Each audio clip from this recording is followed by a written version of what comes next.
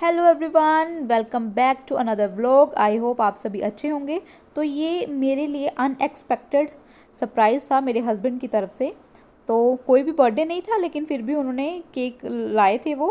तो हमने cake cut किया था और कोई भी ऐसा कुछ खास फ़ंक्शन भी नहीं था, लेकिन हम भी, हम नॉर्मल डेज़ को भी एक एक अच्छे डेज़ की तरह सेलिब्रेट करते हैं। क्योंकि छोटी छोटी खुशियों को आप ऐसे ही सेलिब्रेट करके खुश रह सकते हो और खुश रहने की कोई वजह नहीं होती है मेरे अकॉर्डिंग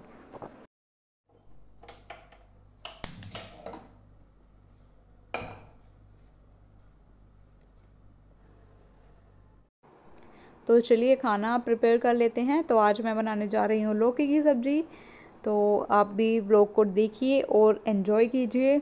और वीडियो अच्छी लगती है तो लाइक और शेयर ज़रूर किया कीजिए। ऊपर आई बटन में वीडियोस मिल जाती हैं तो वीडियो को भी चेकआउट ज़रूर किया कीजिए। चैनल पे फ़र्स्ट टाइम विज़िट करते हो तो चैनल को भी सब्सक्राइब ज़रूर कीजिए। तो वही रेसिपी है, जैसे नॉर्मल हम बनाते हैं बिल्कुल सिंपल सी, कोई भी टफ़ नहीं है। अगर आप न्यूली ब्राइड हैं अगर अगर आपकी न्यू न्यू वेडिंग हुई है तो आप ऐसे बना सकते हो। आपको अगर नहीं बनाना आता है तो आप सीख सकते हो। बहुत ही इजी रेसिपी है, आपको कोई भी इसमें झंझट नहीं करना पड़ेगा। बस आपको एक टिप मैं बता देती हूँ कि जब भी आप लौकी या ऐसे कोई चीज़ बनाते हो तो उसमें जो खट्टापन लाने के लिए हम टमाटर या चाट मसाला ऐसा यूज़ करते हैं तो वो आपको स्टार्टिंग में यूज़ नहीं करना है क्योंकि फिर जो सब्ज़ी है वो इतनी अच्छे से जल्दी से बनती नहीं है बहुत टाइम लगता है। जब थोड़ी सी सब्ज़ी पक जाए बाद में आप उसमें टमाटो को ऐड करिए तब जो आपकी सब्ज़ी है अच्छे से पक भी जाएगी और उच, उसका जो अच्छा एक फ्लेवर है टमाटर का वो भी काफ़ी अच्छे से आ, आ जाता है। तो आपकी सब्ज़ी भी बन जाती है और टमाटर भी बाद में गल जाते हैं और अच्छा सा फ्लेवर भी आ जाता है। तो ऐसे आपका टाइम भी सेव हो जाता है। क्योंकि एक दो बार मैंने ऐसे ट्राई किया है, मुझे पता नहीं था तो मैंने लौकी में पहले ही जैसे टमाटर डाल दिया है तो वो ना सब्ज़ी इतनी अच्छे से बन नहीं पाई और थोड़ी सी कच्ची रह के बहुत देर के बाद पकी। तो इसलिए मैंने ये ट्रिक अपनाई तो मैंने सोचा आपके साथ भी शेयर कर दूँ। जो मेरे पास टिप्स एंड ट्रिक्स होंगी, मैं आपके साथ ज़रूर शेयर करूँगी। अगर आपके पास कोई भी टिप है तो आप मेरे साथ ज़रूर शेयर किया करिए। कमेंट बॉक्स में कमेंट कर दिया कीजिए, मैं उस टिप्स को ज़रूर फॉलो करूँगी। अब बहुत से फेस्टिवल भी आ रहे हैं, जैसे नवरात्रि, करवा चौथ, दिवाली, दशहरा। तो आप सभी के घरों में भी सफ़ाई शुरू हो गई होंगी तो आप मुझे ज़रूर बताइएगा कि किस किस ने अभी सफाइयाँ स्टार्ट कर दी हैं दिवाली की, और कुछ लोग अभी करेंगे।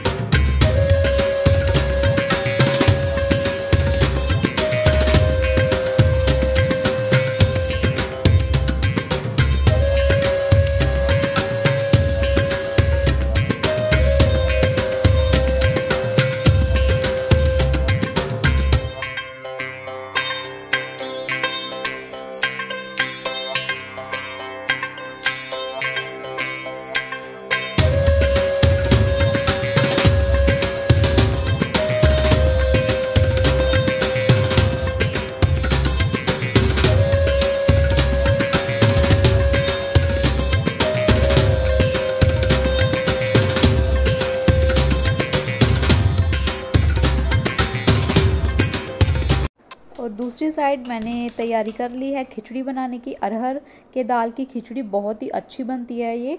और थोड़ा सा अगर इसमें हम तड़का लगा दें तब और अच्छी लगती है। तो इसके लिए सबसे पहले मैंने जीरा डाल दिया, फिर आप अदरक डालना चाहे वो डाल सकते हो, मिर्ची डाल सकते हो। और इसी के साथ जो अरहर की दाल है, वो आपको थोड़ी देर पहले, आधा घंटा पहले भिगो के रख देनी है ताकि वो सॉफ्ट हो जाए। जब वो थोड़ी भिगो के सॉफ्ट हो जाएगी, तब वो बहुत अच्छी बनती है तो कच्चापन उसमें नहीं आता है। तो ऐसे ही आप उसमें फिर उसे भी डाल दीजिए और कुछ मसाले ऐड कर दीजिए, जैसे कि चाट मसाला, गरम मसाला और जो भी आप कोई और डालना चाहते हो तो उसे भी आप डाल सकते हो। अब मैं जैसे अरहर की दाल को मैंने भिगो के रखा रखा था तो अब मैंने उसे डाल दिया है, अच्छी तरह से मिक्स कर दीजिए। फिर आप उसमें चावल मिक्स कर दीजिए और पानी उसके अकॉर्डिंग डाल दीजिए। और एक या दो सीटीज़ में आपकी ये जो खिचड़ी है, बहुत ही अच्छे तरीके से बन के तैयार हो जाएगी और फिर आप इसे सर्व करिए। घी के साथ खाइए, चाहे बटर के साथ खाइए तो बहुत ही अच्छी लगती है ये। आई होप आपको ये मेरी रेसिपी अच्छी लगी होगी। मोस्टली सब लोग बनाते हैं, कुछ लोग सिंपल बनाते हैं, लेकिन मैं थोड़ा तड़का लगा के चीज़ बनाना पसंद करती हूँ तो उसमें और अच्छा फ्लेवर भी आ जाता है। तो लीजिए, हमारी खिचड़ी भी बन गई है। तो आइए सर्व करते हैं और खाते हैं अपना डिनर आप भी मेरे साथ ज़रूर शेयर करिए करिए कि आपने डिनर में कौन सी रेसिपी बनाई और खाई। तो वीडियो अगर आपको अच्छी लगती है यूज़फुल लगती है तो वीडियो को लाइक और शेयर ज़रूर किया कीजिए। चैनल पे फ़र्स्ट टाइम आप विज़िट करते हो तो प्लीज़ चैनल को सब्सक्राइब ज़रूर किया कीजिए। और लास्ट स्क्रीन में भी जो वीडियोज़ होती है, उसे भी ज़रूर देखा कीजिए। ऊपर आई बटन में भी आपको वीडियोज़ मिल जाते हैं, उसे भी आप देख सकते हो। तो थैंक यू फॉर वॉचिंग मिलते हैं एक नए और अच्छे ब्लॉग के साथ। Bye bye. Take care.